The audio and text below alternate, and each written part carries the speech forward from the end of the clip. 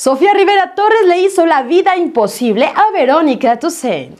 La presentadora Sofía Rivera Torres no sale de una y ya está en otra. Luego de ser duramente criticada por hacer bromas pesadas en contra de Lucero Mijares, ahora está nuevamente en el ojo del huracán debido a que tras la partida de Verónica Toussaint se recordaron los momentos en que Sofía le hizo la vida imposible a Toussaint. Verónica Toussaint era muy amiga de Eduardo Videgaray y de su entonces esposa Mónica, lo cual nunca logró superar Sofía Rivera. La situación empeoró cuando todos trabajaron juntos en el programa que importa, Rivera no paró hasta conseguir que Toussaint dejara el programa, pues no la quería cerca de Videgaray, lo que creó un ambiente laboral tenso y hostil. En junio del 2020, Verónica Toussaint se despidió del programa que importa luego de cuatro años de compartir pantalla con Eduardo Videgaray y José Ramón San Cristóbal, también conocido como La Estaca. Su salida fue sorpresiva y no se dieron muchos detalles al respecto, lo que dejó a muchos seguidores con dudas sobre las verdaderas razones de su partida.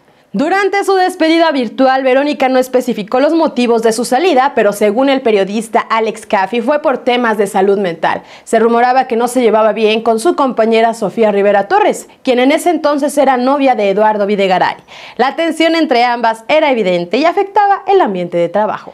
Compañeros del foro refiriendo que la relación entre Verónica y Sofía era mala, mientras Susan era considerada buena onda, Sofía Rivera Torres era vista como prepotente, altanera y grosera. Sin embargo, todos la soportaban por ser la novia de Videgaray, lo que le daba una posición de poder dentro del equipo de producción del programa. Eduardo Videgaray había quedado viudo de su ex esposa Mónica, pero Verónica ya conocía a ambos desde antes. Verónica, Eduardo y el Estaca ya trabajaban trabajaban juntos en el programa de radio La Corneta. Posteriormente fueron invitados a la televisión para hacer el programa Que Importa, donde más tarde se integró Sofía Rivera Torres generando conflictos. Llena de celos y envidia, Sofía, la entonces novia de Videgaray, comenzó a hacerle la vida imposible a Verónica porque no soportaba que fuera amiga de Eduardo.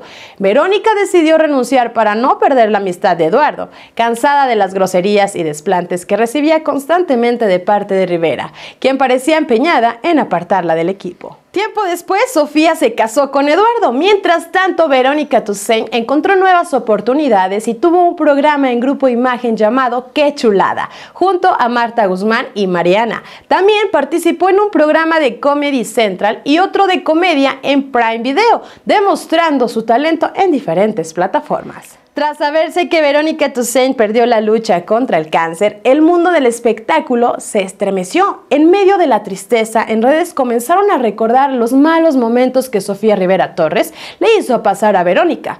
Muchos creen que Verónica se fue con el resentimiento en contra de Rivera, aunque ella siempre negó tener problemas con Sofía. Mientras la partida de Verónica ha generado una oleada de recuerdos y sentimientos de tristeza, sus familiares, amigos y seguidores lamentan su ausencia, pero también surgió el debate sobre la influencia negativa que Sofía Rivera Torres pudo tener en su vida profesional. Pues más allá de su mala experiencia con Toussaint, la actual de Videgaray sigue de peleonera con el que se le atraviesa por enfrente. Hasta aquí la nota de hoy, nos vemos en el próximo borlote.